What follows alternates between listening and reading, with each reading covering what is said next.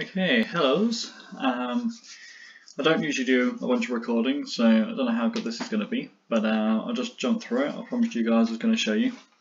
So I've just actually gone over to Twilio and basically used a temp mail, uh, temp number kind of thing just to set you up like a little demo, uh, demo account. So I've just kind of authenticated all that. Um, so yeah, now that I'm in, I'll just show you where I go from here. So we're going to grab a trial phone number. There we go, so we've got one of them. Uh, so we'll just have that copied in. And then the first thing we're going to do, it's going to it's going to look a little bit codey, it's going to look a bit scary, but it really isn't. So let me just show you how to do that. It's just copy and paste. I'm going to go to jump to up here. I'm going to type in TWIML, and we're looking for the TWIML bins. Uh, boom. So these are small little bits of code that we can call upon later on. Um, the studio that we're going to be working in, it's like drag and drop, flow diagrams, which is great for new users, but it doesn't have all the functionality that coding does. So yeah, we're just going to use a little bit of code. So create a new TwiML bin. Uh, we're going to call this one Whisper, because this is going to be responsible for our whispering. And I'm just going to jump off screen, grab this, and what I'll do is I'll actually I'll have this out in like a maybe like a Google Doc or something so you guys can copy and paste this. Um, so this is the free lead from Bay the Web Guy. That's kind of my online marketing branding name. Um, so that's all validated. It's whispered. So create. And then what we're going to do is we're going to keep hold of this link here. So I'm just going to copy that. Uh, we're now going to go ahead and go back to, uh, TwiML bins we're going to make one more. So from here we're going to call this uh, forwarding. Perfect. And then I'm going to grab another little bit of code and bosh that in there. Now the only thing you need to change here is this ringtone here is set for Great Britain, so if you're in the UK that's fine. If you're in the US, swap it out with US. Um, and if it's something else, then just do a little Google search for uh, two letter country code. And then what you'll find is it's this ISO 3166, um, and they'll have a bunch of two letter codes for each country. So pop that in there and then everything else here should be absolutely fine.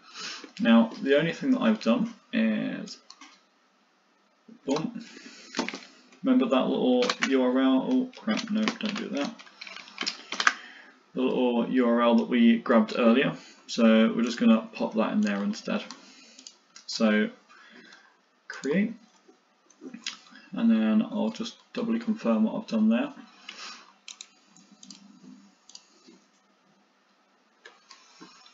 So if you go back to my TwiML bins, you should have Whisper and forwarding. If you go to Whisper, we've got this little bit of code here, and we've copied this.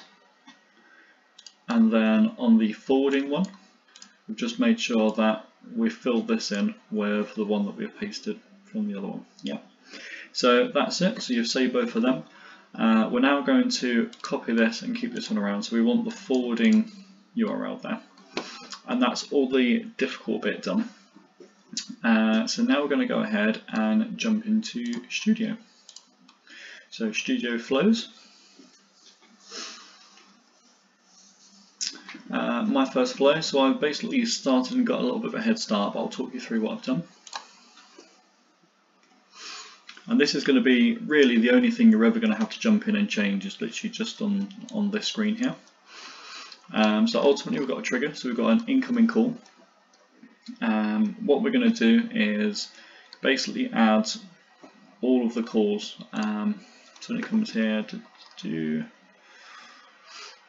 yeah, I'll, I'll sort that out in a second. But yeah, basically we'll send all of the numbers that we run to come to this flow and then they'll come through here. Um, it's actually a step back on the phone number setup. So that will happen, they'll come through.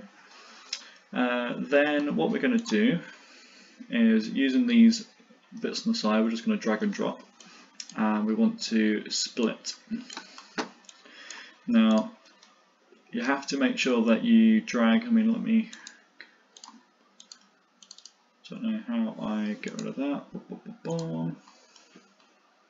Okay, anyway, so these, these little red dots, basically you have to drag it on uh, onto this. So once you do that, you want to get the incoming call onto your splitter. Um, what that's then going to let you do is on here, you should have a drop down and you're going to have the triggers. That's this up here. Uh, and we're going to split things based on who they're trying to call. Um, so that's kind of the number, the rented number, so we're going to click that. I call it lead splitter just so I know kind of what this does, what the job is.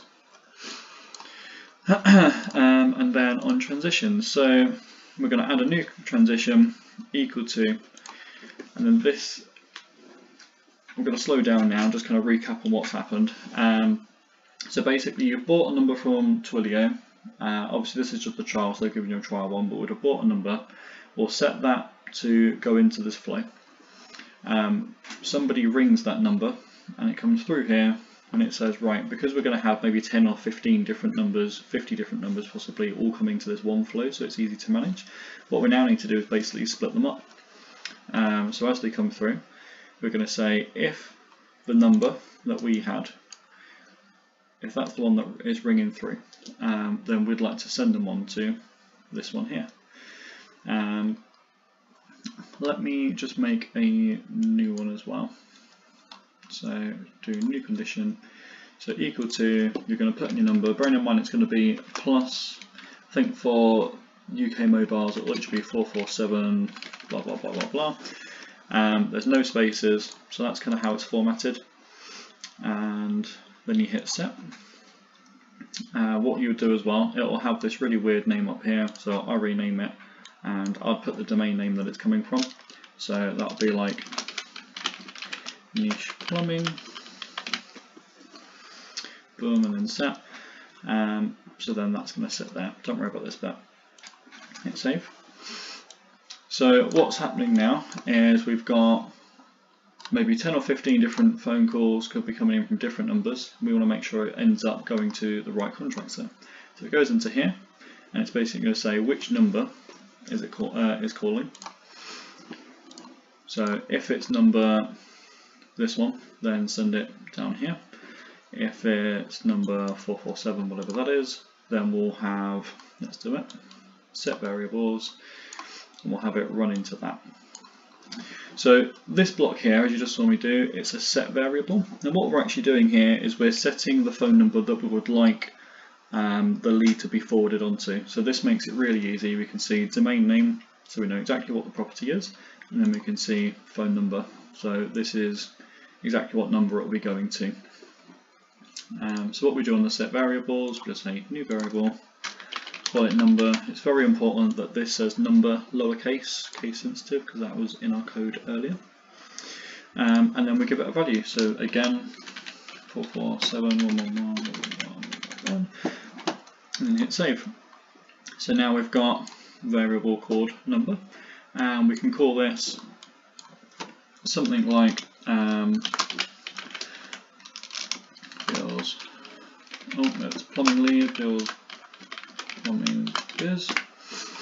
Um, absolutely fine to change this in the future, so if you want to keep track of who it's going to, put the business name there, put their number there, nice and easy. Um, so yeah, that's the forwarding number. So now you've got a nice easy way to edit where it's going to, what what client it's going to. This is pretty much the only thing that you're going to need to change in the future. You can keep the, the website the same, the numbers the same, all that kind of stuff. You can keep this the same. You just pop in here and you say it's a different business, I've sold it to somebody else. Um, and it's a different number. So you just hit edit and you change the number. So that's all you're going to have to do when you set up, but let's continue setting it up.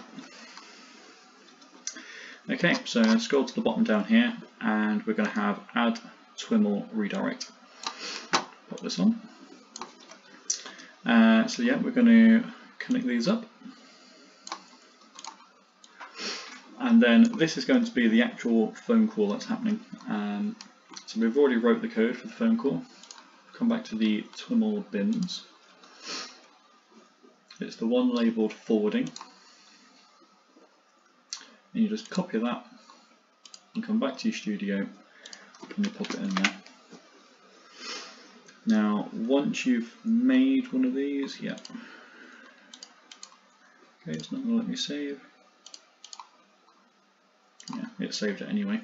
Uh, this is like your back button, by the way. This expands it out if you want some more space, and that just goes back to normal. Um, yeah, sometimes it doesn't allow you to save, but if you just hit back, it's fine. It's done it. So this you can actually duplicate, I believe. So now you've got it's already set to go. So again, you make it once. Um, if you've got a new number, you go down, you just hit duplicate, and that's that's done. So this is just going through kind of what's happening now. Incoming call. Somebody's called your plumbing number. So it comes in here and it says, oh, it's plumbing. Send them this way. Um, this is basically saying Bill's plumbing business. His number is XYZ. And then we're going to send the caller to this place here, which is our custom of code before, and we're going to also send Bill's plumbing number. And then here, this is where it gets sent to, so it runs through this. So what's going to happen is we're going to dial the number that was found here, which uh, sorry, dial this this number here. so that was Bill's number, that's the one we've just passed it. Um, however, we're also going to send a whisper so Bill will hear the whisper and then it will connect the call. And what I've also set is to record the phone call to make sure that it continuously plays a ringing tone to the person on the other end until Bill actually starts talking. Um, and then this is another part that helps the ringtone work. And that is pretty much it. If we go back to the whisper, so you can then say type whatever you want and this is what's going to be read out to Bill before he answers the call. So he's going to answer it, it's going to say this is a free lead from Bay the Web Guy and then it's going to connect him straight away and he can start talking to them. So you get to edit that here. Um, okay, so then back to studio. Uh, there we go, that's what we're working on. And that is pretty much it. So you hit save, back out of this. Um, I think it's saying there's an error there because I haven't specified a URL, so I'll just quickly delete that for now. And this will now let me publish it. So I hit publish. Boom, so this is now live and in action. This will work. Now because I'm on a trial account, you do get, you know, like a whisper. You kind of get a whisper when you call and a whisper when you answer a phone, which is Twilio saying, this is a trial account, blah, blah, blah, blah, press one. So um, when you obviously upgrade your account, um, which is, there's no monthly fee by the way, you just deposit a little bit of money, put your address in and it's, it's upgraded and good to go. And the money that you put in is actually your, your credit to use. Um, so yeah, that'll be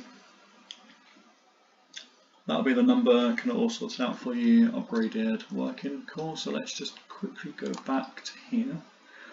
We're going to go to phone numbers now and manage.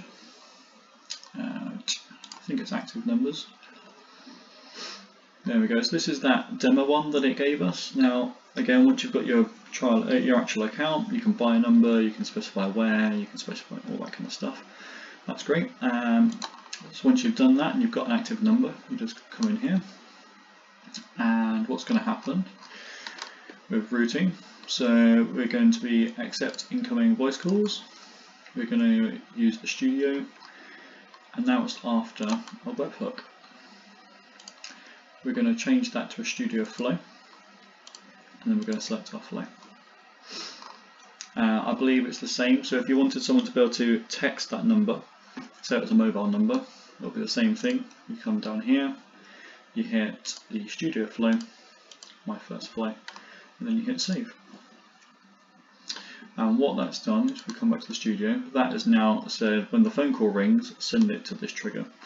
Now you noticed I connected up the incoming message, well it's not going to do anything, it's just going to fail or not, you know, not go anywhere, no one's going to see that until you build something here, so in the future I might build that. Uh, but yeah, that's kind of it. So in the future if I was to set up a new site, think I'd come along I'd buy a new number for the site. I can search by, like, is it plus 44, what number it is, mobile, landline, whatever location I want. this is how much I have to pay each month um, to be able to actually rent the number. So I'll buy a number,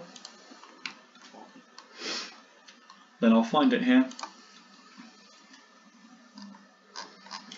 link it to my flow, uh, then I'll come, yeah, one. Then I'll come to my flow,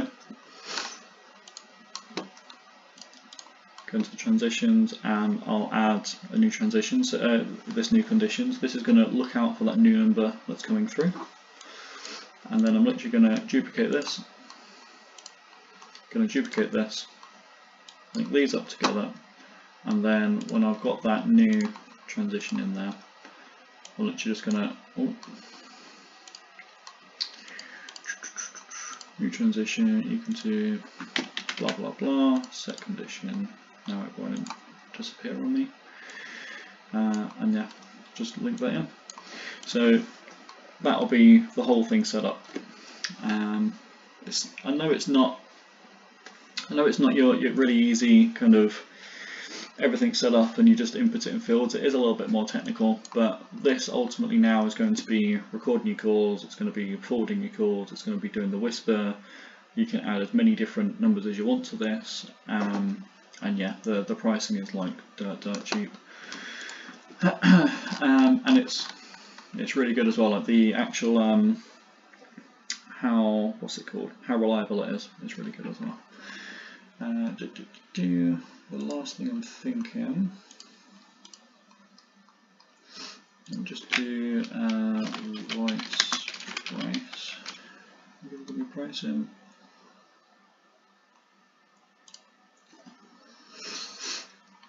Just to give you an idea. Okay, so it's a two-party call from the US to the US, phone, phone. I'm going to add recording on there. Uh, and then let's just say we had 100 minutes a month. Perfect. So that's how much it will cost you per month in additional fees um, just about to have the 100 minutes go through. Again, a thousand. so you, you are just paying on like a pay-as-you-go basis, and that includes the call recording and everything. Okay, right, well, I think that's the end of that. It's quite long, it's like 20 minutes, Jesus Christ. Um, I'll get a Google Docs link together and then I'll throw this up on Facebook for you guys. I hope I wasn't too boring. Soodles.